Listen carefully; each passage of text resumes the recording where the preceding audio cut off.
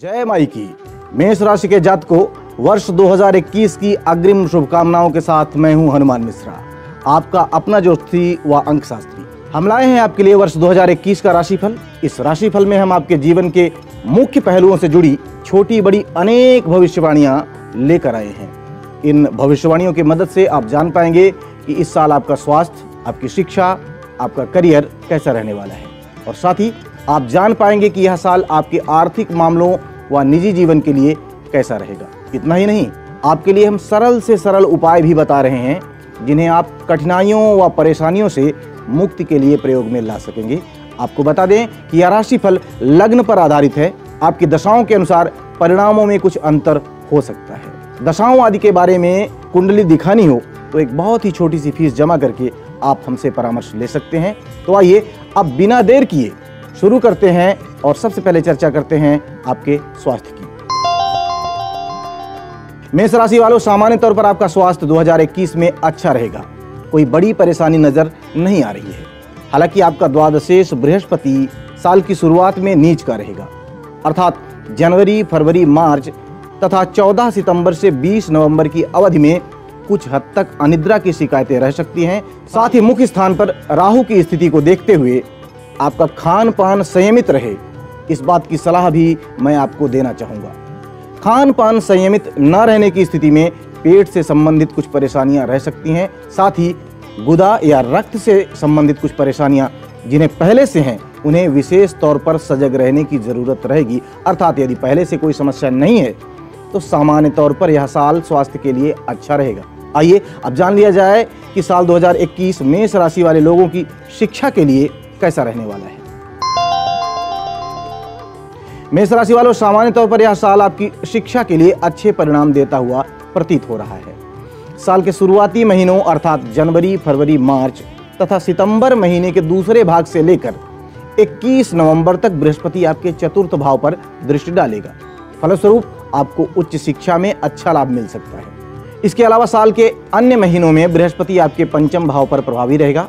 यह भी शिक्षा संबंधी मामलों में, खासकर बौद्धिक मामलों में, अनुकूल परिणाम देता हुआ प्रतीत हो रहा है।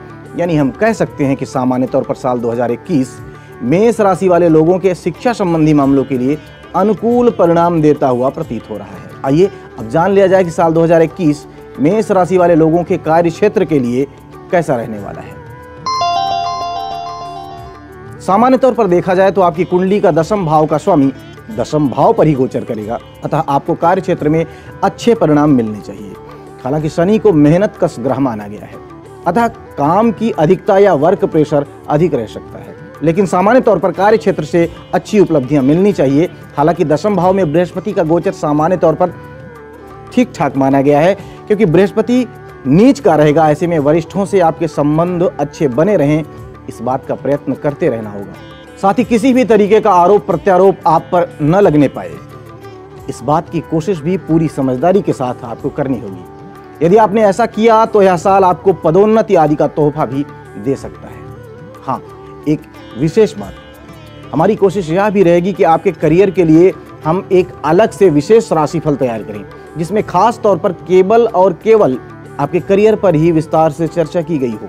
इसलिए हमारे चैनल को सब्सक्राइब कर लीजिए, जिससे वह वीडियो वीडियो का अपडेट आपको तुरंत मिल सके।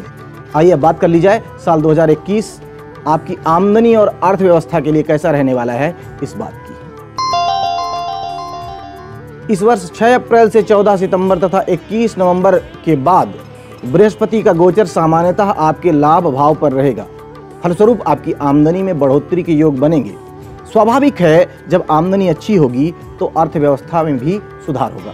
यानी साल के शुरुआती महीने आर्थिक मामलों के लिए थोड़े से कमज़ोर रह सकते हैं। हालाँकि इस समय आपकी मेहनत अच्छी रहेगी तो उसके परिणाम तो आपको मिलेंगे ही मिलेंगे।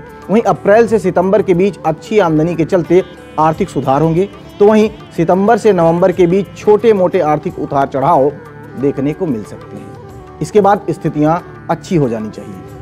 अर्थात सामान्य तौर पर साल आर्थिक मामलों के लिए अच्छा रह सकता है। पुनः बता देते हैं कि हमारी कोशिश रहेगी कि हम आपकी राशि के लिए केवल और केवल आर्थिक मामलों पर एक वीडियो बनाएँ, जिसमें विस्तार से आपके आर्थिक पक्ष की चर्चा की गई हो। इसके लिए आप हमारे चैनल को सब्सक्राइब कर लीजिएगा, जिससे जब भी वह वीडियो आए, आपको तुरंत उसकी जानकारी मिल जाए। आइए, अब आपके पारिवारिक और निजी मामलों की चर्चा कर लेते हैं।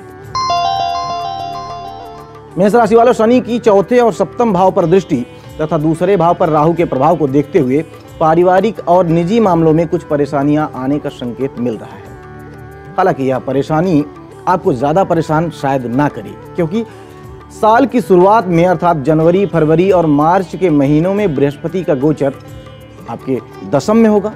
परिणाम स्वरूप बृहस्पति आपके दूसरे और चौथे भाव को देखते हुए आपकी घरेलू समस्याओं तथा पारिवारिक समस्याओं को सुलझाने का प्रयत्न करेंगे। वहीं 6 अप्रैल से 14 सितंबर तथा 21 नवंबर के बाद बृहस्पति का गोचर आपके लाभ भाव में होगा, जिससे वह आपके प्रेम संबंध, संतान संबंधी मामलों तथा निजी जीवन में अनुकूलता देने का प्रयत्न करेंगे। अर्थात सामान्य तौर पर यह साल आपके पारिवारिक और निजी मामलों के लिए मिले जुले परिणाम देने वाला रह सकता है।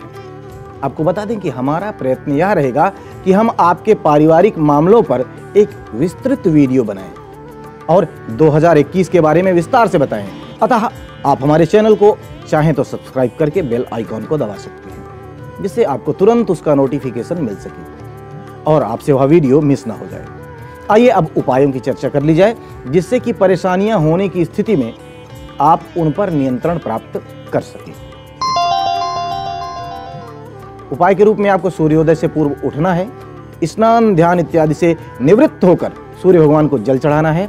यथा संभव प्रतिदिन मंदिर जाने का प्रयत्न करें तथा समय समय पर मौका निकालकर कम से कम दस नेत्रहीनों को भोजन कराना है। तो उम्मीद है आपको इस राशि फल के माध्यम से अपने साल को प्लान करने में मदद मिलेगी और आप बेहतर करेंगे। आप सभी को साल 2021 की अग्रिम शुभकामनाएँ। भगवती, सबका कल्याण करें। जय माई धर्म और संस्कृति से जुड़े रहने के लिए सब्सक्राइब करें धर्म डॉट टीवी और लेटेस्ट अपडेट के लिए बेल के आइकन पर क्लिक करें।